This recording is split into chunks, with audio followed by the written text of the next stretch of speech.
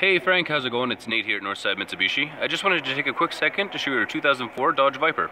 It's a really nice car. Comes with an 8.3 liter V10 engine. Huge K&N intake. Really nice body, really nice Viper rims, Viper brakes, convertible. Full leather seats, really nice sound system. Aftermarket Alpine touchscreen, standard transmission push start ignition, Bluetooth, power windows, power locks, all your gauges up here, speedometer. It's a really nice car, Frank. Please let me know what you think. I'll talk to you soon. Bye-bye.